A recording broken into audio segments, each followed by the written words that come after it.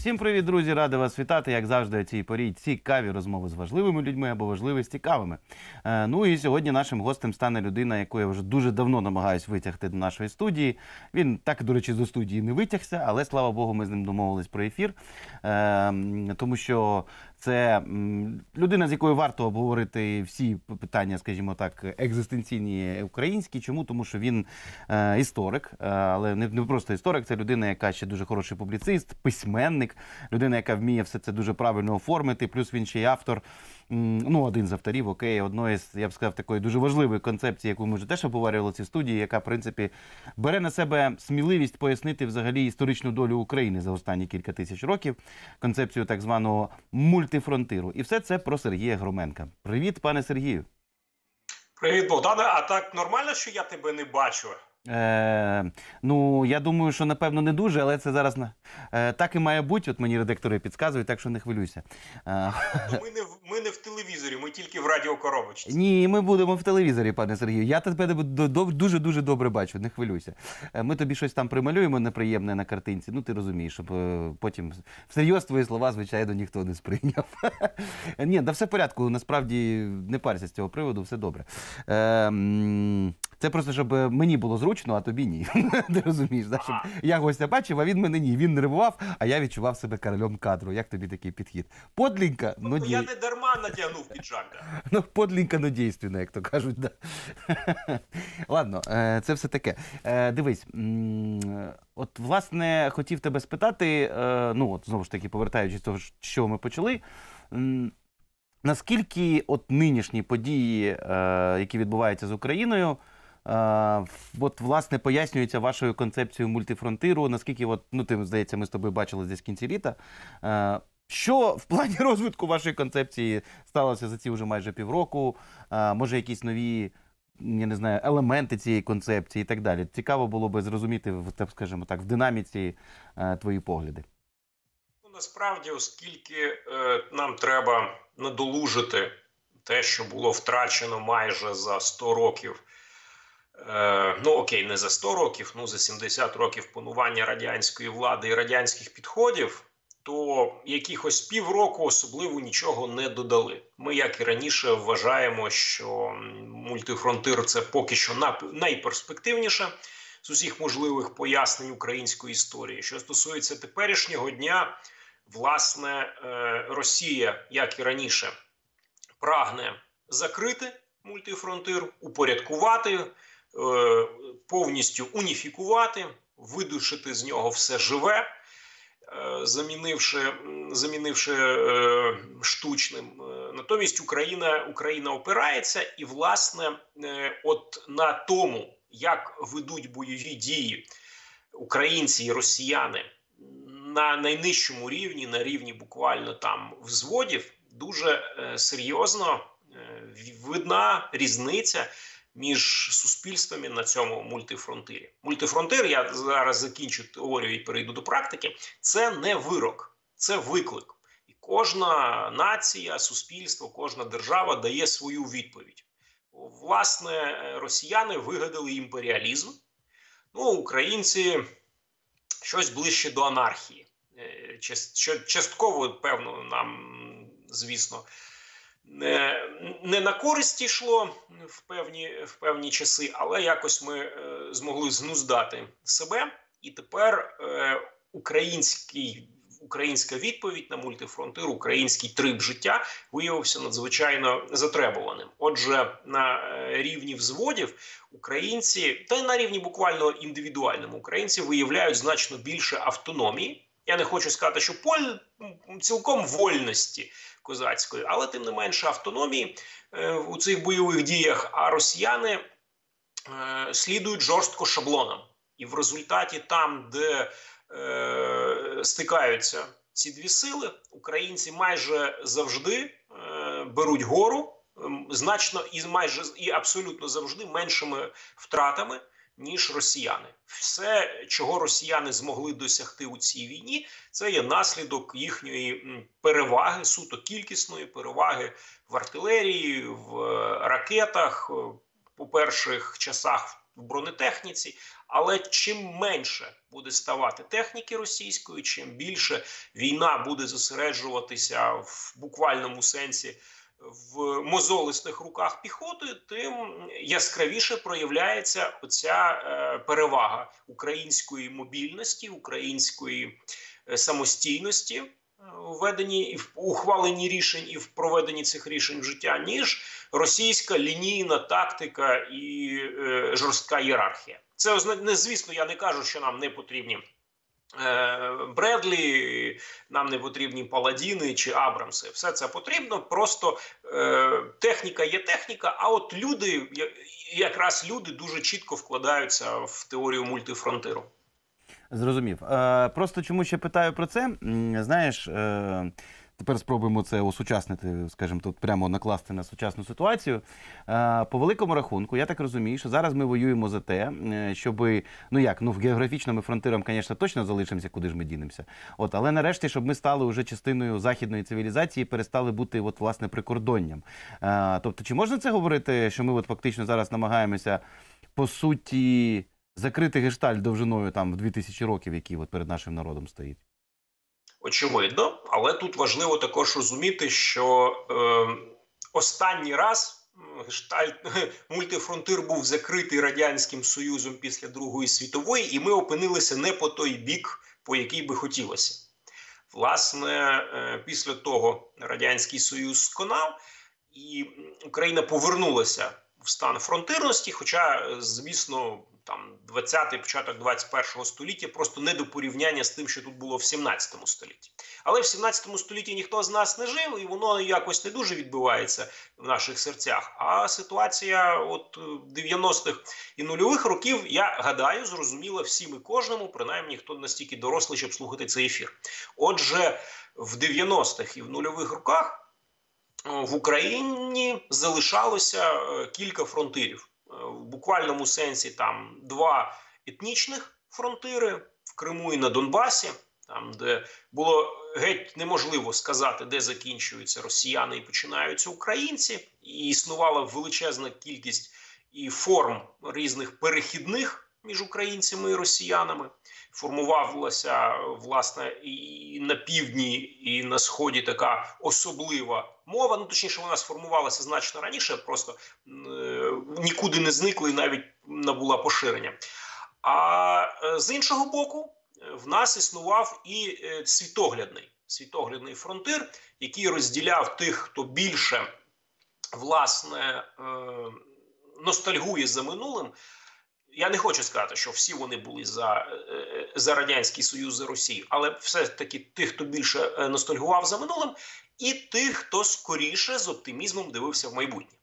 І фронтир між ними дуже поволі, дуже дуже поступово, але неухильно рухався з заходу на схід. Якщо ми подивимося на результати президентських і парламентських виборів, то ми побачимо, що спочатку цей фронтир проходив е, трьома е, областями Галичини, потім зсунувся на старий кордон між Польщею і радянською Росією по Збручу. Потім він доїхав до середини Дніпра і на довгі 10 років зупинився там. Я гадаю, всі пам'ятають е, мапи розколу України е, в період загострення і в під час виборів е, 2004 року помаранчевої революції, і потім під час е, протестів е, проти Януковича в 2013-2014 році здавалося, що Україна от настільки е, глибоко вражена цим розколом, що в неї немає спільного майбутнього.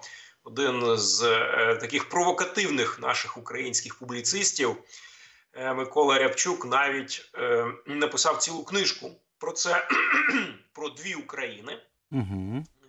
А Ярослав Грицак, не менш провокативний український публіцист, відповів йому есеєм 22 України. Власне, е, ем, і можливо, да, можливо, цей розкол посередині Дніпра е, з, існував би трошки довше, можливо, він був би глибшим, але факт залишається фактом. В 13-14 році відбулося пробудження остаточне е, сучасної української політичної нації від цього анабіозу. і зовнішнє вторгнення, яке ізолювало, е, ізолювало найукраїнофобніші елементи на Донбасі і в Криму. І в результаті цей фронтир світоглядний е, стрімко рвонув е, на схід, і на виборах ми знаємо, що президента Порошенка, що потім президента Зеленського, е, він же майже не відчувався. Тобто, всі південні і східні області за певними дуже дуже нечисленними винятками голосували приблизно так само, як і весь український центр. Тобто е, почалося зближення того світоглядного фронтиру з мовним фронтиром, і фактично з лінією розмежування на Донбасі і в Криму, тобто там бойових дій. Власне, е, ще б ще б кілька. Ну, може, кілька років там до десятиліття існування такої ситуації. І я гадаю, що в принципі е, природнім шляхом е, після завершення там декомунізації е, український мультифронтир зіщулився би власне тільки до Донбасу з Кримом, а решта України остаточно опинилася би на іншому боці. А те, що зробила Росія після 24 лютого, вона з одного боку суто розширила територію фронтиру, і оці зони е, на півдні, де працюють наші партизани, це якраз фронтир буквально в тому самому розумінні, що і в 17 столітті, коли лінія фронту дуже умовна. І всі ходять вправо, вліво, і на північ і на південь, як собі, як собі хочуть. А з іншого боку, прискорила процеси інтеграції по інший бік. Таким чином, без жодних сумнівів, коли нарешті ця війна закінчиться, український фронтир почне збігатися вже з державним кордоном 91-го року. А якщо війна закінчиться так, як ми плануємо, то цей фронтир посунеться вже на територію Білгородської Народної Республіки, Курської Народної Республіки, Кубанської Федерації. Ну там вже можливі варіанти. От, до речі, раз ти вже сказав про всі ці приколи, е, у тебе був е, не так давно дуже цікавий текст. Я взагалі уважно е, читаю твої тексти, не лайкаю, щоб ти не розслаблявся, але читаю. Я- читаю і осуждаю, да? Жартую. Ну, хоч читаєш, Ну, хоч читаю. Ні, ну треба ж хоч е, врагов-то треба читати, шучу. ну, якщо серйозно, то дуже крутий ти текст написав ем, наприкінці грудня з приводу, ну, скажімо, твоя, про, твоя прогностика того, що відбувається з Росією, в якому сенсі. Е, тобто, ну, е, це, до речі, дуже велика проблема. Мені здається, що у нас насправді навіть в Україні немає якогось усталеного образу закінчення цієї війни в плані, а що ми хочемо, щоб сталося з Росією? Тому що ну, про Захід ми взагалі мовчимо, бо там повна через полосиця і каша в головах. Е, Мені так здається, навіть зараз. Тобто е, хтось хоче, щоб, грубо кажучи, Амер... е, Росія знову перетворилась на Росію там умовно 94, наприклад, чи краще навіть 93-92. Е, Хтось хоче, е, щоб Росія просто стала такою, як вона була до 2014 року, тобто умовно Росія 2000 там. Не знаю, 9, 2010, наприклад. Да? Е, хтось хоче там, наприклад, що Росії перестало існувати, але якогось єдиного погляду, мені здається, нема. Ну або якщо він є, то він є тільки у дуже обмеженої кількості людей, які зі своїми думками поки що не дуже діляться світом. Е, от. Так само і в Україні. Тобто є могутня партія, яка качає, що от, треба, щоб, значить, парад суверенітетів, щоб Росія розвалилася. Е, хтось каже, що нам взагалі треба від них просто бетонну стіну і так далі. Е, і тому от мені дуже цікаво, ти як людина, яка от такий. Історик в хорошому західному смислі цього слова, який не просто там знає, коли хто король там став королем, а ти вмієш вибудовувати дуже цікаві такі, скажімо, ланцюжки подій. Е, Ти от е, прийшов до двох висновків, наскільки я пам'ятаю. Перше, що насправді от ніякого там параду суверенітетів і лоскутного одіяла на місці Росії не буде. Але з іншого боку, ти прийшов до висновку, що тут нам би перечитати матеріалізм імперія критицизм Владимировича Леніна про те, що імперіалістична війна має перетворитися в війну громадянську. От якщо можна, розкажи, будь ласка, ці свої міркування, бо мені вони здаються дуже важливими і дуже цікавими, і дуже хотілося б, щоб люди теж їх від тим більше від автора власне почули. Добре, почнімо з самого початку. Е, Чому немає чіткого розуміння майбутнього? Тому що ми все ж таки, що в Україні, що на Заході, здається, не живемо як в Північній Кореї. Тобто, у нас не може бути однієї спільної думки про все. І хоча мене це особисто розчаровує, якщо не сказати більше, що це мене дратує, я ставлюся з розумінням до того, що існують різні концепції, і вони конкурують між собою, і тому по-перше, є різні країни з різним ступенем впливу росіян на них. Тобто, Польща це не те саме, що Німеччина, а Німеччина не те саме, що Велика Британія, і вже геть окрему позицію там займають Сполучені Штати. Але навіть в кожній з цих країн, ну принаймні в Сполучених Штатах, так точно, є різні лобійські групи, які відстоюють власні інтереси, пов'язані з Росією. З одного боку е, є бізнесмени, будемо називати їх так, які прагнуть торгувати з Росією. Тому що Росія це там 100 мільйонів е, покупців на ринку, а це не хрін собачий. І з іншого боку, величезні запаси різного роду там нафти, газу і можливо чогось іншого. І це все варто було би зберегти. І, і, і ці люди, ці бізнесмени, вони не дивляться в завтрашній день, вони дивляться сьогодні в свій в своїй кишені і виступають за максимально помірковану політику. Вони настіль, вони іноді бувають настільки потужними, що лобіюють певні виключення з санкцій окремих російських олігархів чи, чи російських галузей промисловості. Є, скажімо так глибоко стурбовані, але стурбовані не Росією, а, а Китаєм. Ті, хто вважає, що надмірне послаблення Росії рано чи пізно призведе до надмірного посилення Китаю. Цього ніхто не хоче. Давайте збережемо Росію в якості противаги. Або може навіть союзника, можливо. Це, до речі, дуже я думаю, сталена думка. Іс, існує і таке Збігнєву Бжезінському приписують фразу. Я підкреслюю, що приписують, тому що він помер і вже в нього не перепитаєш. Він колись сказав, начебто, що ми будемо воювати з Китаєм до останнього росіянина. Хороша фраза. Я не знаю, чи це чи правда, але дядя збіг міг, в принципі, таке ляпнути. Є е, кілька, ну я не знаю груп е, ностальгуючих за стабільним старим світовим порядком і за своєю і за своїм місцем в його розбудові, і які мають пієтет перед Росією, перед історичною Росією. Зараз можна там назвати е, Кісінджера серед них, які ну. Просто от от от вони настільки глибоко захоплюються і здавна Росією, що не хочуть нічого міняти. А крім того, якщо Росія перестане існувати, то вони може втратять свої, свої ну не те, щоб лідерські, але свої. Ой, коротше кажучи, свої свої позиції вони втратять, тому що прийдуть інші дослідники, які будуть досліджувати цілком нову ситуацію. Тобто, не можна сказати, що всі на заході як один виступають за повну поразку і зникнення Росії. Це абсолютно не так. І з цим ми маємо миритися. Ми маємо продовжувати розповідати і, і політикам, і аналітикам, і найголовніше пересічним виборцям, що Україна не винувата. Що Росія напала не тому, що розширювалося НАТО, не тому, що е, хтось там 8 років долбів, долбів Бомбас, а тому, що от у Путіна є імперіалістична мулька, і і Росія намагається якось компенсувати внутрі свої внутрішні руйнування зовнішніми завоюваннями. Тобто величезна робота, і вона має робитися, але поки що однодумства і одноголосся точно не буде. Треба, Треба з цим змиритися на весь наступний рік. Щодо того, чому Росія не розвалиться на лоскутну ковдру і там не постане 100-500 народних республік, треба розуміти принципову відмінність між теперішньою Росією і Росією 17 року.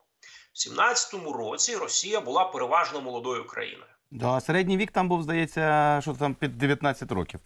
Чи, ні, я не буду зараз е, нікого там вводити в оману, тому що я тупо не пам'ятаю. Дуже молода, да. Що, Ти правий. Щоб на всю Росію іс, на той момент існувало від одного до кількох мільйонів молодих е, хлопців, яким не світило місце в старому патріархальному сільському соціумі. Відповідно, жодних там перспектив на одруження, родину, земельний наділ і тому подібне. А з іншого боку, їм не світило потрапити до великих міст на нормальну роботу. На на фабричну, тому що е, е, російська промисловість ще не могла переварити стількох людей, і оці молоді люди, один чи кілька мільйонів молодих людей, яким нікуди було питатися, вони стали т- тим, тим, тим самим хворостом, до якого, до якого більшовики піднесли іскру е, революції. І, тобто вбивали переважно вбивали один одного дуже молоді люди. І ми можемо подивитися, що той самий Аркадій Гайдар в 15 років вже був командувачем полка, але і серед білогвардійців було аж ніяк не менше. Я нещодавно читав Ну е, читав е, спогади одного хлопця, якому в, в 19-му році виповнилося 18, і він буквально з наступного ж дня залишив батьківський дім і поїхав воювати за білих. Це е, надзвичайно була цікава ситуація з демографічної точки зору. Теперішня Росія це Росія е, дуже стара. Е, Росія, в якій немає тих мільйонів про населення, про які вони говорять. Там дефіцит складає від 5, можливо, навіть до 20 мільйонів людей. Е, Це Росія, в якій ну, населення якої є, є що втрачати, населенню якої є що втрачати переважно. І тому от така повторення масової бійні всіх проти всіх з фронтами по тисячі кілометрів видається малоймовірним. Що видається не малоймовірним, а дуже ймовірним, це е, тріщини на національних околицях. Тому що вже на сьогоднішній день в Росії існує кілька регіонів, які є російськими лише номінально. Фактично, росіян етнічних там не залишилося. Це всі республіки Північного Кавказу, і такі бунтівливі, як Чечня з Дагестаном, і такі відносно мирні, як Кабардино-Балкарія. Десь 1% росіян, десь 5% росіян, але насправді е, вся влада російська, там, як і 200 років тому, тримається, тримається на, на багнетах. Є е, Республіка Саха, де росіян ну, значно більше, але вони поступаються місцевому населенню. Є Тива, одна з взагалі найпроблемніших територій Російської Федерації, де навіть е, російські, е, російські журналісти не ризикують туди їздити настільки, настільки, там стрьомно е, етнічним росіянам. І от якраз в них. У цих всіх таких невеличких, але потенційно конфліктогенних зонах можливі вибухи незадоволення на тлі, на тлі того, що в центрі будуть, що буде відбуватися в центрі. Але е, тут вже не буде ідейного зіткнення там червоних з білими прихильників е, республіки з монархією. Буде е, питання того, як і кому зберегти свою шкуру після поразки у війні. В принципі, щоб всі розуміли, да, що сучасна держава це передусім монополія на насильство. Там, де немає монополії на насильство, рано чи пізно держава зникає. І сьогодні Росія стрімголов рухається до ситуації, коли монополії на насильство в неї нема, і буде її ставати все менше і менше. Вже сьогодні е, існує там цілий непідконтрольний фактично регіон Чечня, е, якою керує е, Рамзан Кадиров на основі особистої унії з Владимиром Путіним. І це не, не російський регіон, це, це такий це, це, це домен.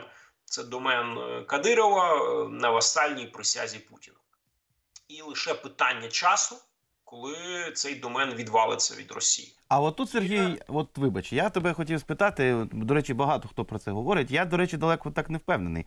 Я думаю, що Кадиров він хоче стати, грубо кажучи, самому там умовним диктатором, керівником. Йому не вигідно оцим цим названим тобою суб'єктам, для чого їм відвалюватись від Росії.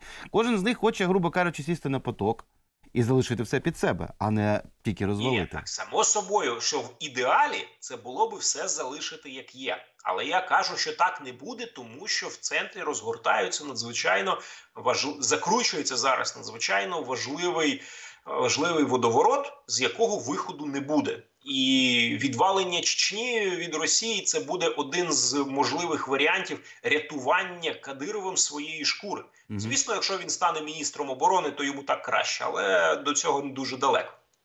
Е, окрім нього, існує, скажімо, там такий персонаж, як повар Путіна Пригожин. І сьогодні вже ми знаємо, що свої е, приватні військові компанії є в міністра оборони в Криму в дві ПВК вербують людей. Там не, дуже багато, але сам, сам факт є всілякого роду козацькі організації по Росії. Які розмивають монополію на насильство, абсолютно незрозуміло, як будуть складатися відносини між Росгвардією і ФСБ, тому що це різні структури з різним підпорядкуванням. І най, найголовніше це буде питання про те, кого видадуть в Гаагу після поразки. Умовно кажучи, після того як Путін помре, буде відсторонений, вбитий табакеркою. Це насправді не важливо. От конкретний конкретний привід, чого він позбудеться влади, не важливий. Важливо, що виникне певний вакуум, і в цьому певному вакуумі зіткнуться між собою інтереси кількох великих груп. Перша група умовні ліберали, громадська не громадська цивільна адміністрація на чолі з прем'єром Мішустіним, який формально за конституцією стане виконуючим обов'язки. Чого їм буде треба? Їм однозначно буде треба припинення війни, виведення військ. Вони навіть можуть погодитися на репарації. Для чого? Для того, щоб вберегти свою владу і скасувати санкції. Але очевидно, що це просто так воно не буде. Що глибинний народ, імперіалісти, яструби і інші незадоволені, просто так того їм всього не подарують. Відповідно, їм потрібна буде така дуже міцна угода з Заходом і з Україною про підтримку, щоб, умовно кажучи, там запобігти голодним бунтам і мати гроші для того, щоб купувати лояльність. За це все вони можуть видати головою Патрушева, Шойгу, Герасимова чи хто там ще залишиться. Очевидно, що всі ці люди абсолютно не будуть в захваті від е, перспектив поразки і того, що вони поїдуть в Гаагу. А тим більше не і повторять добу повторять долю Мілошевича. А ще менше їх надихає повторення долі Каддафі чи, е, чи, чи когось іншого, наприклад. Саддама Хусейна. Ці всі люди е, будуть виступати за продовження війни до останнього кінця. Ну от буквально там до останнього росіяна. Є окрім ни- і, і, і, і, і треба розуміти, що в цю групу не входять ультрарадикали. Ті самі Рассерженные патриоты, как Игорь Иванович Трелков говорит. Да? Безумовно, безумовно. Всі ці люди, всі ці люди, вони також хочуть продовження війни, але вони не хочуть, щоб зберігалася стара корумпована система, е, а хочуть утворення кристально чистого райху, Якого ніколи не було. загальної тому подібних речей. І це ж не буде просто питання. Ну в нормальних демократіях да, питання влади е, теж може стояти доволі гостро. Ми це бачили в 2014 році в Україні. Ми це бачили в 2020 році в Сполучених Штатах е, зі, штурмом Капітолію. Але в демократіях переможена сторона, як правило, зберігає і життя, і статки в Росії, скоріш за все той, хто втрачає владу, втрачає статки і життя.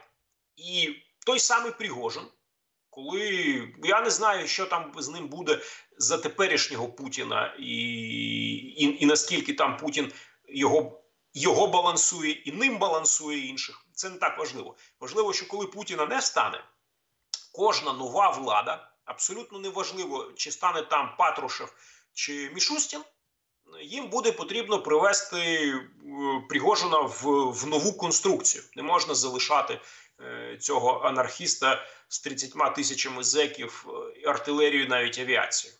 А якщо він відмовиться вбудовуватися в нову вертикаль, якщо він вимагатиме більшого, чи можливо в принципі буде ухвалено рішення про його ліквідацію, тоді йому не залишиться нічого, як діяти на випередження. Тобто питання не в тому, хто чого хоче. Питання в тому, на яких умовах буде перерозподіл влади е, в Росії після Путіна. І от якраз цей момент, коли з одного боку е, ультрарадикали, з іншого цивільна адміністрація і, і Бог ще знає хто, губернатори з їхніми оціми іменними батальйонами, набраними з місцевих, оце все я підозрюю. е, вибухне і перетворить імперіалістичну війну на громадянську не у великих масштабах. Ні. В, е, в Москві, можливо, в інших містах мільйонниках, але битва за владу буде кривавою і в прямому сенсі буде повторювати не е, 17-й рік, а 93-й. От про це в нас мало говорять, але насправді, от те, що сталося в Москві 3-4 жовтня 93-го року, війна між президентом Єльциним і е, Верховним Советом Росії з танками на вулицях, зі стріляниною, з сотнями загиблих. Оце на оце все я власне чекаю після, після поразки Росії. І тут вже відступати буде нікому, е, тому що той, хто програє, той буде або вбитий, або поїде в Гагу. Е, Бажаючих купити собі е, свободу головою ціною голови інших в Росії вистачає.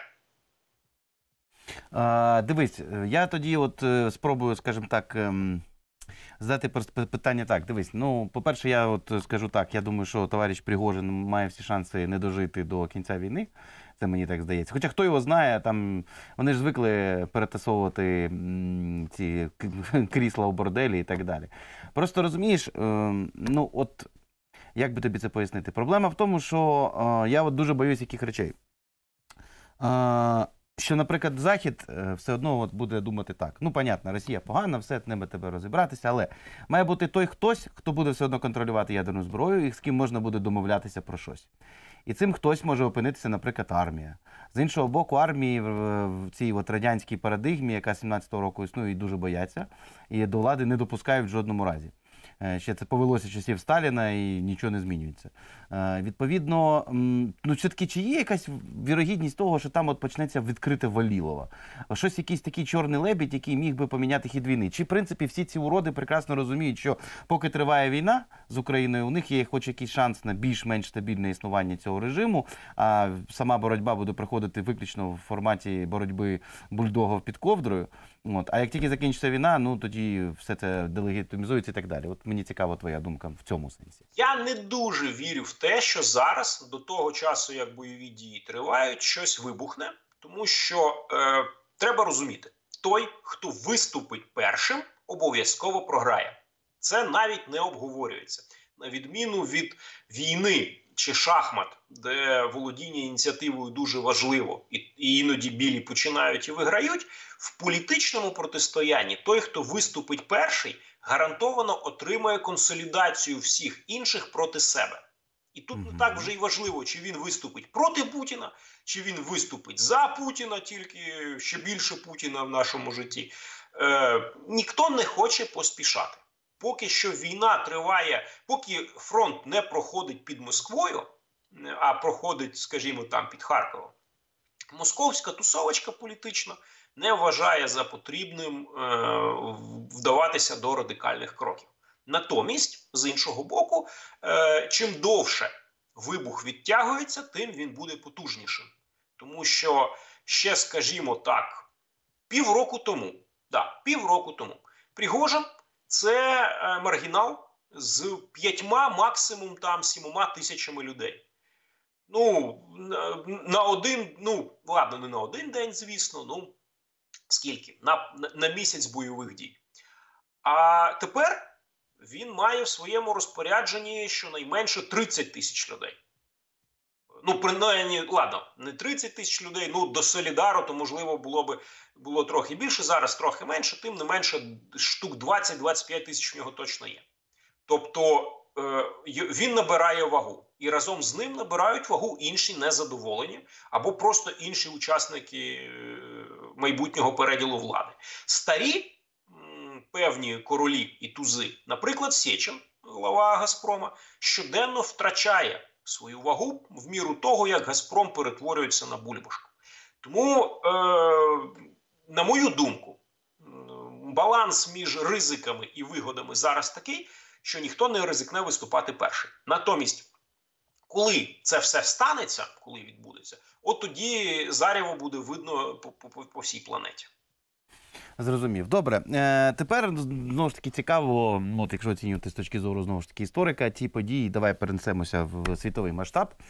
Е, мене взагалі вже дуже, ну, скажімо так, у мене є інформація моя, я там не буду казати звідки, можете не вірити, не вважати її там за.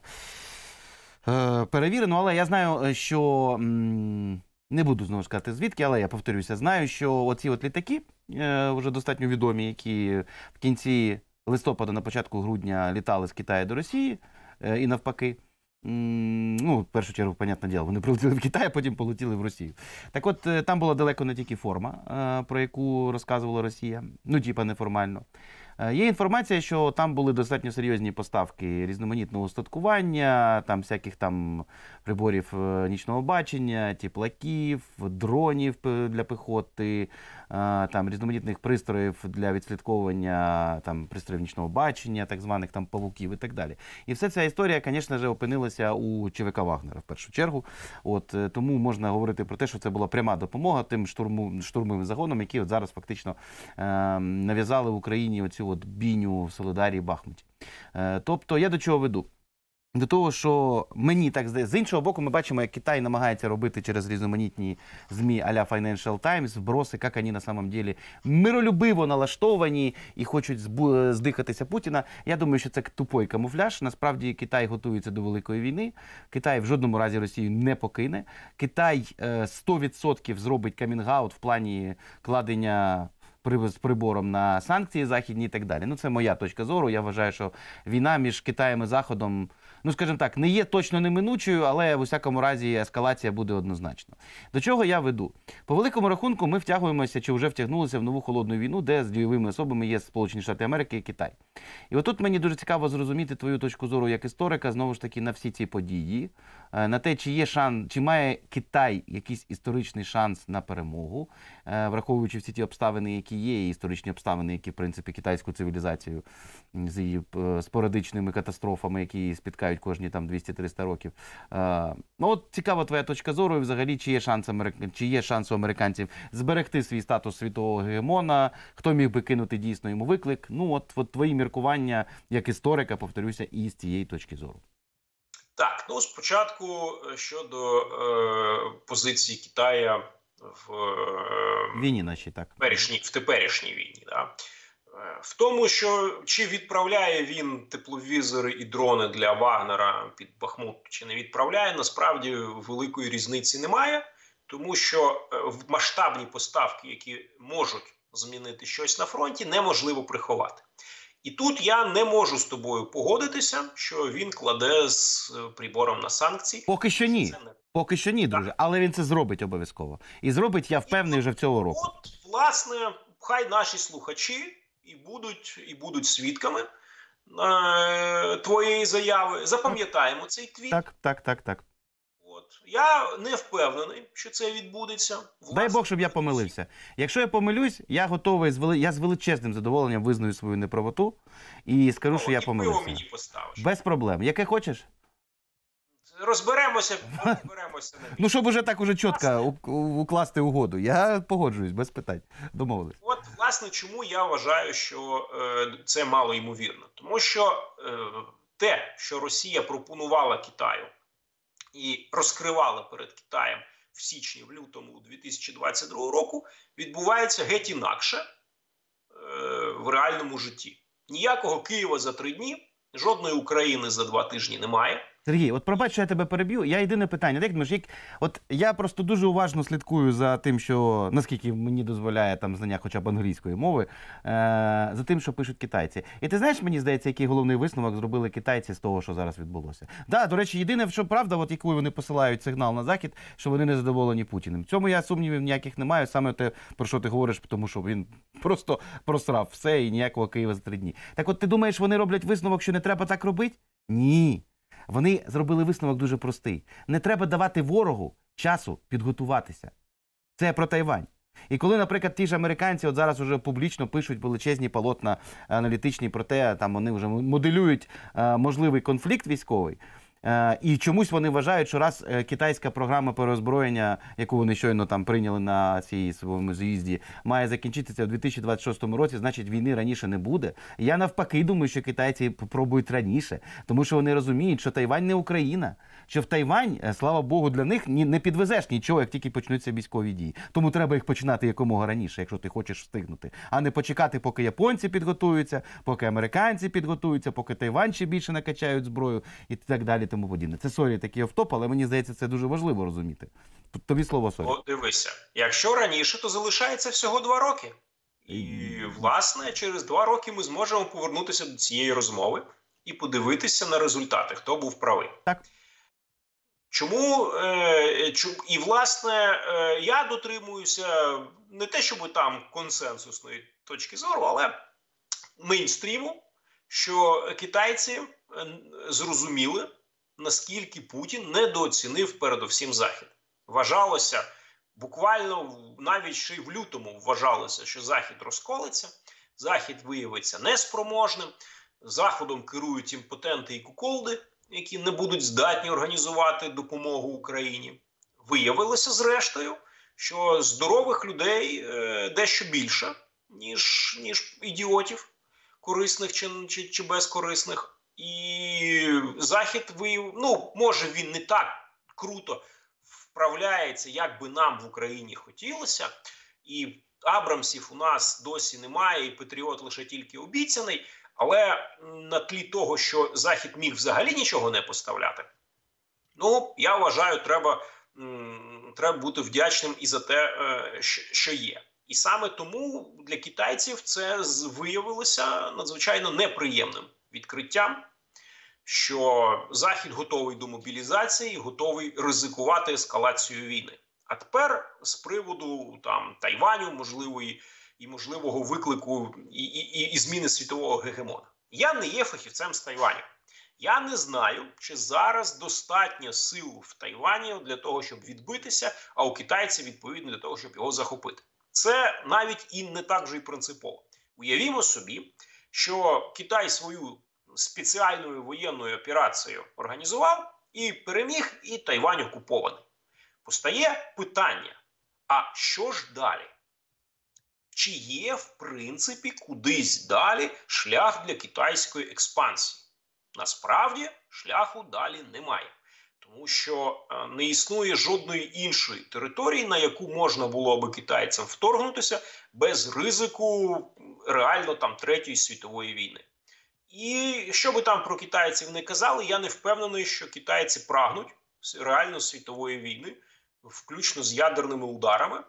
Ну ні, Що? ні, вони хочуть просто захопити те, що їм треба, але Тайвань для них це той момент, коли вони мають довести, що вони тепер дорівнюють Сполученим Штатам. Тому я думаю, Ну, їх вони не дорівнюють Сполученим Штатам. але хочуть. що флот Сполучених Штатів буде продовжувати знищувати, якщо вже дійде до цього, то флот Сполучених Штатів знищить китайський флот без варіантів, і Китай втратить будь-яку можливість для подальшої морської експансії. Ми Це це, так. вже проходили. Це Ми так. в 41-му році ми вже це проходили, коли японці за допомогою е, ефекту раптовості змогли завдати потужного удару Сполученим Штатам, і потім весь 42-й рік домінувати. А потім Сполучені Штати розвернулися і до 45-го Японію дотисли. І я би не сказав, що з технічної точки зору зараз Китай е, знаходиться в такому ж становищі, як Японія зі Сполученими Штатами. Набагато краще, я тобі скажу, у Китаї ситуація. Набагато а краще. Це зовсім не факт. А це зовсім не факт. Чи є, чи є зараз в Китаю ракети здатні влу... не ядерні, да, здатні влучити в територію Сполучених Штатів? Е, Думаю, чи що є, так. Чи є літаки е, в Китаю, які да, і скільки їх? Два десятки? Ну я не знаю. О, Пане Сергію, ти, мені здається, що знаєш, який є най, найважливіший е, момент у Китаю. По-перше, якщо ти порівняєш ну, взагалі світ тоді і зараз, і, скажімо, структуру економіки, вплив Китаю на нього, я розумію, що Китай все одно дуже вразливій ситуації, і по великому рахунку, ти дуже правильно сказав, їм перекрий там два дві протоки в китайському морі, і до свідання всім цій торгівлі китайській. Але є один важливий момент, який дійсно дуже серйозно у Китая набагато краще, ніж у Японії. Китай має своїх союзників і має з ними кордони, фактично. Тобто у нього є Росія, у нього зовсім є поруч КНДР, і у нього є, ну, прямого кордону немає, але дуже поруч Іран. Тобто їх вісь зла, грубо кажучи, це все Євразія. Якщо з точки зору території брати, то мені здається дуже чітко видно, що Китай сколочує дуже серйозну вісь зла. І це гігантські, гігантські простори Євразії. Те, чого не було у Японії, у якої маленькі острівки, які по великому рахунку, ну, ти розумієш, а до найближчих союзників була ціла Євразія. І ну, ти розумієш сам, що ніяких серйозних уже стосунків там бути не могло, і поставок з Німеччини в Японію, з Німеччини там куди в Італію. Там. Що ж будуть поставляти з Ірану до Китаю? А з Ірану до Китаю, до речі, корот... Е, в тому числі. Поставляти нафту В тому числі. під впливом надзвичайно потужного американського флоту і повітряного флоту. Ну, Американці не настільки не настільки погано знаються на логістиці світовій, як ти зараз намагаєшся це представити. я до- якраз це в жодному разі не хочу сказати. Американці це Китай- боги логістики. Китай більший за Японію, але це не значить, що він не буде перебувати в тій самій сировинній залежності, як і Японія. Просто в результаті масштабів е, Японія менша, але Японія і споживала менше. Китай більше, але він і споживає більше. І Є ще Росія, не забувай. І це найважливіший момент. ти розумієш, в чому зараз проблема твого підходу? Ну. Ти замість того, щоб довести, що Росія буде союзником е, Китаю в цій війні, береш це за тезу і кладеш її в основу. А це ще не означає, що це однозначно буде такий факт. Не зовсім не факт, що в війні Сполучених Штатів проти Китаю Росія буде саме за китайців. Цілком можливо, що Росії вже буде ні до Китаю, ні до Сполучених Штатів в принципі.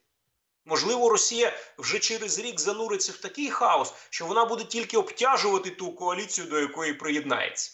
Ну, я тобі скажу, ну вже ти думаєш, що Китай настільки дурний, і вони не розуміють одної простої штуки, що так, їм не вигідно, щоб Росія виграла цю війну там, тому що Росія тоді надто посилиться, їм це теж не потрібно. Але якщо Росія програє цю війну, вони ж прекрасно розуміють, що тоді Росія, ну, в кращому випадку стане просто нейтральною, а в гіршому випадку стане, ну от, власне, те, про що ти казав, певною торпедою проти Китаю. І плюс, давай не забувати, які, яку ступ, ступінь інспірації має Китай зараз в Росії. І, ну, по суті, по великому рахунку, якби не було китайської підтримки, Росія б уже зараз мала, точніше, не зараз, вона б уже десь в травні місяці могла мати ті проблеми, які починає мати тільки зараз. Тому що саме Китай є головним її е, торговельним і будь-яким іншим партнером. Ясна справа, що це все на користь Китаю. Безумовно, втричі більше отримує на користь. І що Китай буде їх висмоктувати, і це для неї харч. Але тим не менше, Росії їм потрібна зараз. Вони прекрасно розуміють, що програє Росія, і навіть ідеологічно Сі Цзіньпінь, який продає світу історію про те, що якоїсь такої керованої історії, про те, що не треба обов'язково мати західне суспільство, щоб бути заможним, багатим і так далі. Ну вони не можуть собі дозволити програти Росії. Якщо вони це зроблять, то все розвалиться, як чертям собачим. Ти думаєш, що Китай на це піде? Я думаю, що ні. А Франція в в 17-му році не мала жодної можливості дозволити Росії вийти з Першої світової війни, тому що це означало наступний крах Франції. І тим не менше, попри всі, поп, Франція втягнула Росію в Першу світову війну. Франція оплатила участь Росії в Першій світовій війні. І тим не менше, Росія все одно вийшла з Першої світової війни, тому що о, так сталося. Тому що Росія закінчилася в тому вигляді. Да. Сорян, сорян, наші французькі браття, але ми воювати більше не будемо. І тому розрахунки Китаю на майбутнє Росії це розрахунки Китаю на майбутнє Росії. А реальна ситуація, яка складеться, це реальна ситуація. Я не бачу е, можливості м, Китаю настільки Росію підтримувати, щоб не потрапити під американські санкції для того самого ну, для збитків для китайців, які неможливо окупити за, за рахунок Росії. Тут ми не будемо далеко ходити. Е, е, Китай заточений на експорт. Китай, прода... Китай живе з того, що для західного світу збирає і продає різні речі від серйозних до всіляких брязкалець. І чи може, і я сьогодні буквально, да, я сьогодні дивився статистику по товарообігу Китаю е, зі Сполученими Штатами, і там Китай зі Сполученими Штатами на третьому місці, а, Європейський Союз на другому місці, і там сумарно, там сумарно на два порядки більше цифри, ніж з Росією. Пане Сергію, ти от знаєш, ти чуєш себе зараз? От твої зараз роздуми це один в один, як всі, і я, і я в тому числі. І ми теж е, намагалися так мислити про Путіна. Що для чого йому це все треба, це ж невигідно і так далі, і тому подібне. Проблема, на жаль, на мій погляд, в тому найбільше полягає, е, що м, я уважно читав, що сказав Сі Цзіньпінь. Е, Це некрократ. Прямому сенсі цього слова. Цієї людини його ж не цікавить оця вся історія. Це так є, безумовно. Але вони собі поставили за мету, він собі поставив за мету, конвертувати все те, що вдалося за ці 40 років, в геополітичну історію. І тому вони будуть готові йти на будь-які втрати. Да, вони зараз трошки відпустять своє населення. так, Пофіг. Вони розуміють, що у них нема часу. У них нема часу. І мені здається, що вони дійсно не будуть повторювати помилок Путіна. Я от ніяк не можу зрозуміти, звідки взялася така поблажливість до цієї країни, яка, на мій погляд, уже не приховує того, що вона хоче своє. Та нема ніякої поблажливості. Ми так само вважали не тільки ти. Всі це не те, щоб хтось вважав. Це так воно і було, що для Росії вигідно торгувати з Європою, а ворогувати невигідно. Путін ідіот, який цього не зрозумів і почав війну. Але це не значить, що наші попередні міркування втратили сенс. Росія програє цю війну саме тому, що вона розірвала зв'язки з Європою. Так само і з Китаєм. Я не кажу, що китайські лідери не можуть зійти з глузду і напасти на Тайвань і почати війну проти Сполучених Штатів. Я кажу, що вони програють цю війну, тому що ефект урону, який зазнає китайська економіка, не перебити союзницьком союзництвом з Росією, в принципі. А це питання вже великої ставки, розумієш? Вони розуміють, що ставка весь світ можна як би немножечко і. е, Та нікому ще не вдавалося завоювати світ в самотужки. Бе- нікому ще не вдавалося. От це дуже класна тема, пане Сергію. Ми зараз з тобою продовжимо після новин. Якраз е, от зараз пограємося в мір системщиків, Валерстайнів і всяких е, інших там е, Полов Кругманів. і спробуємо визначити, то як же стають гегемонами, і яким чином, які шанси, і так далі. Це дуже цікава тема. Залишайтесь з нами, залишайтесь обов'язково.